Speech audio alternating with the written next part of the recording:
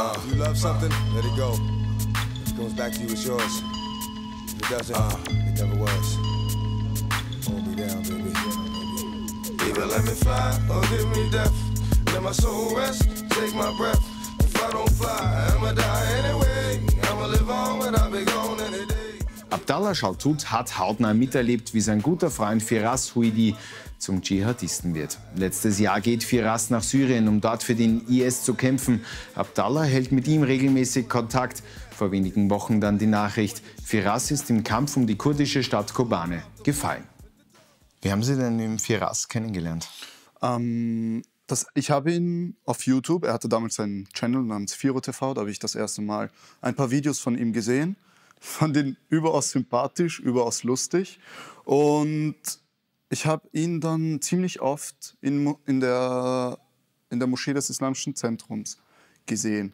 Wir haben uns oft unterhalten und so haben wir uns halt dann kennengelernt und eine Freundschaft aufgebaut. War er ein gewalttätiger Mensch? Überhaupt nicht, bei Gott nicht. Jeder, aber nicht Vierers. Nein, nein. Haben Sie eine Erklärung dafür, wie jemand, der, den Sie als gar nicht gewalttätig kennen, dann darunter gehen kann und Menschen umbringen? Da kann ich nur spekulieren, das müsste man Vierers selbst fragen. Aber, aber haben Sie das in ihm gesehen, dass er kämpfen will? Nein. Haben Sie mit ihm über diese Terrormilizen gesprochen damals? Nein. Haben Sie über den IS, über, über die Al-Nusra-Front? Die, die war damals nie relevant bei uns. Also damals, die einzige Organisation, über die wir damals geredet haben, war die FSA, die Freie Syrische Armee. Und die haben wir so hochgehalten. Das, war, das waren quasi für uns die Menschen, die gegen das Böse in Syrien, quasi gegen das Assad-Regime gekämpft haben. Hat Firas Ihnen da angedeutet, dass er ähm, sich vorstellen könnte, für die zu kämpfen, da mitzukämpfen, da mitzutun? Nein, natürlich, das Heldentum will jeder mal haben. Also jeder will mal der Held sein.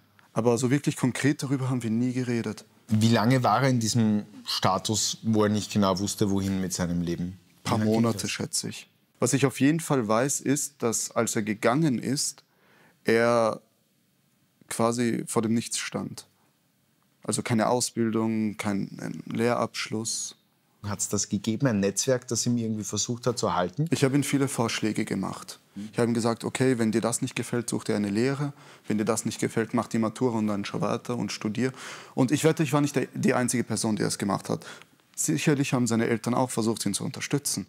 Haben Sie wahrgenommen, dass er sich radikalisiert, dass er sich irgendwo hineinsteigert? Mhm. Nein, habe ich nicht. Äh, wir haben Demonstrationen organisiert. Zum Beispiel damals, wo ein paar Amerikaner einen Film über den Propheten Mohammed, Frieden und Segen sei auf ihn, gemacht haben. Da haben wir eine Demo vor der äh, amerikanischen Botschaft gemacht, die sehr gut besucht war.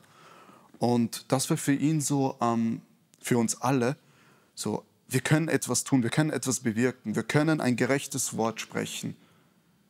Und das war für ihn so eine Art, so eine Art, so eine Art Genugtuung. Beziehungsweise er hat sich dabei wohlgefühlt, wenigstens etwas machen zu können. Vielleicht war ihm das etwas aber nicht genug. Sie haben ja dann mit ihm noch Kontakt gehabt, wie er schon in Syrien war. Ja. Was, haben Sie, was haben Sie ihm da gesagt?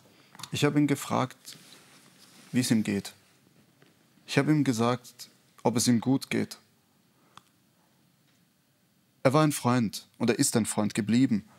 Und ich werde, seinen, ich werde den Weg, den er eingeschlagen hat, niemals gutheißen können. Aber wenn Ihr Bruder ein Mörder ist, er ist trotzdem Ihr Bruder. Und Sie können die Gefühle ge gegenüber ihm nicht verleumden. Was hat er Ihnen dann gesagt? Was hat er Ihnen von seinem Leben dort unten erzählt? Er hat, er hat mir erzählt, dass er zu essen kriegt, dass alles super ist, tolle Wohnungen, Strom, Gas, alles da. Sprich, dass es ihm super duper geht. Haben Sie über das Kämpfen auch gesprochen mit ihm?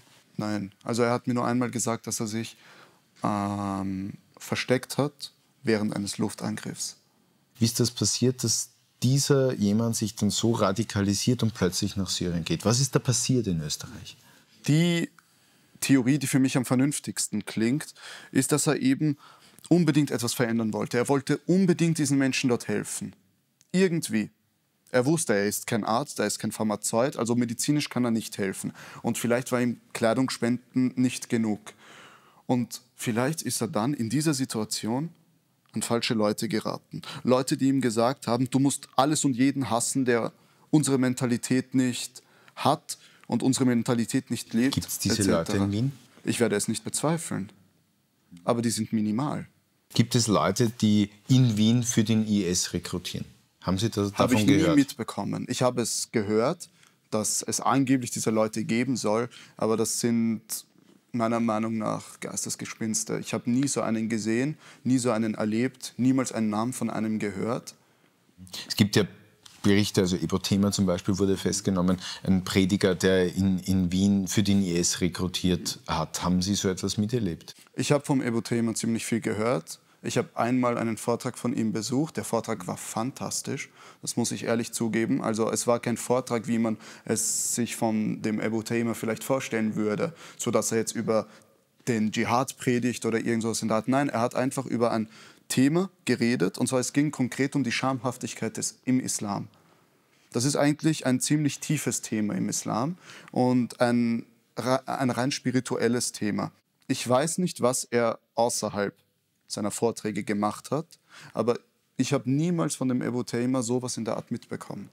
Hatten Sie das Gefühl, dass Sie beobachtet werden von Behörden, von Polizei, von Sicherheitsbehörden, die in Österreich ähm, ja immer wieder in solchen Kreisen ermittelt? Nein, an sich nicht. Das Einzige war halt, es ist bei jedem so, wenn man halt das Freitagsgebet im islamischen Zentrum beten geht, hocken immer zwei Polizisten in ihrem Auto oben am Hügel. Das war's. Die Polizei sagt ja, man beobachtet äh, die Szene quasi ganz genau. Man wisse ganz genau, wer überlegt, runterzugehen nach Syrien und man wisse auch, wer zurückkehrt. Haben Sie das wahrgenommen? Haben Nein. Sie wahrgenommen, dass hm, Polizisten Sie ansprechen, den Firas ansprechen, Ermittler ermitteln in der Szene, dass Sie jemanden kennen, der jemanden kennt, mit dem gesprochen, gesprochen Nein, wird? und ich finde diese Information, ich sehe sie als falsch an, weil wenn man tatsächlich die Leute kennen würde, die mit dem Gedanken spielen würden, nach Syrien zu gehen, würde ich der Polizei eine Frage stellen, warum hält man diese Person nicht auf? Warum sind dann trotzdem Pi mal Daumen 200 Österreicher unten?